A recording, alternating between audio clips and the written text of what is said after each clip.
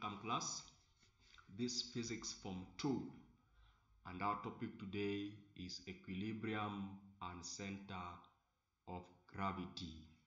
We have some tutorials for you which I hope you will enjoy. What is meant by the center of gravity? It's a very common question which is normally set. What is meant by the center of gravity? It is the point of application of the resultant force due to Earth's attraction on the body. It is the point of application of the resultant force due to Earth's attraction on the body. So you must present the response of the answer in that format. The term resultant force must be there and the point. Number two, state two factors that should be controlled in manufacturing of a cylindrical container of uniform thickness, which should normally be in a standing position.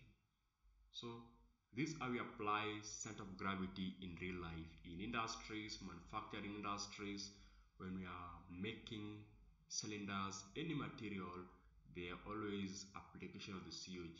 So what should be controlled when I am manufacturing a cylinder, a cylindrical container, may it be it a bucket, a tank, so long as that's a cylindrical container, what should you control? So the question is just asking factors that determine or which can increase or lower the COG, the center of gravity of a body. So the first point is length or height of the container. When you make the container as long enough with a, a large height, likely you may end up with an unstable container. So the length or the height should be in medium, moderate height. Second point is width of the base or base area. The wider the base, the stable is the container. State the reason why a steel sphere state the reason why a steel sphere resting on horizontal position is said to be in neutral equilibrium. Remember we have three types of equilibrium. We have stable equilibrium, unstable equilibrium, and neutral equilibrium. So why do you say a steel sphere, just like a ball, on a horizontal surface, be it a table, then you say it is in neutral equilibrium. Why do we say so? So the response is the center of gravity of the steel ball does not change even if it is slightly displaced. The center of gravity of the steel ball does not change even if it is slightly displaced. So it just keep on rolling on the table. But the COG does not change. Number four, a uniform rod of negligible mass balances when weight of 3 Newton is at point A. I think you can see we have point A, B and C. So when you put 3, 3 Newton at point A, again 3 Newton at point B, and again weight W at C. You can see W at C. What is the value of the weight W? What is the value of the weight W?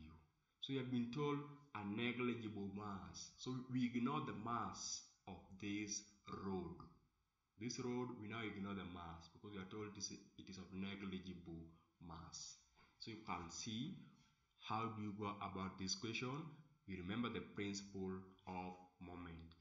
That sum of clockwise moment should balance the sum of anti-clockwise moment. So solution. So taking the moment about fulcrum or the pivot, fulcrum or the pivot, which is at point O. You can see at point O is where you have the fulcrum, the pivot. So anti-clockwise moment. Moment is always force times perpendicular distance. There can be as many forces as possible. So the first force you can see there is 3 Newton at point A. And second force is also 3 Newton at point B. So the force 3 Newton at point A, distance is 3 meter. The force 3 Newton at point B, distance is 1 meter. And the force W at point C, distance is 3 meters. So how do you go about it? Anti-clockwise moment is now 3 times 1 plus 3 times 3 and you get 12 Newton meter. That is for anti-clockwise moment. Then for clockwise moment is just 3W. You can see just W and the distance is 3. So it's just W times 3 meters. Then anti-clockwise moment equals to clockwise moment. Anti-clockwise moment equals to clockwise moment. So just balance the 3W equals to 12 Newton meter and W you get as 4 Newton. 4 Newton. Next, study the diagram below and determine the value of x and hence the length of the bar.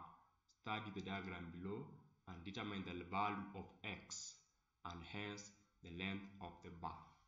So we have 10 Newton which is at 60 centimeter from the pivot. We also have 10 Newton which is 20 centimeter from the pivot.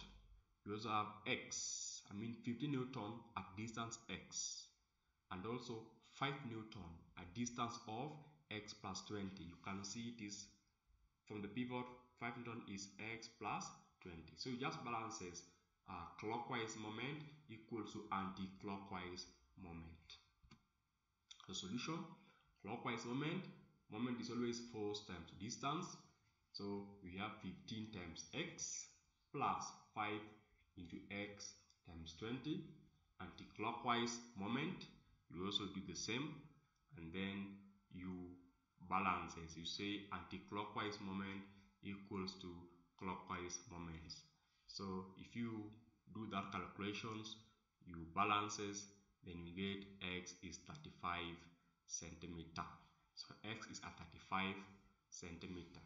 If x is at 35 centimeter then the question was length of the bar. So you add 40 plus 20 plus x which is now 35 plus 20 plus 20 so you can see we have added them there and confirm if you're getting 115 centimeter we have a question for you which you have to do.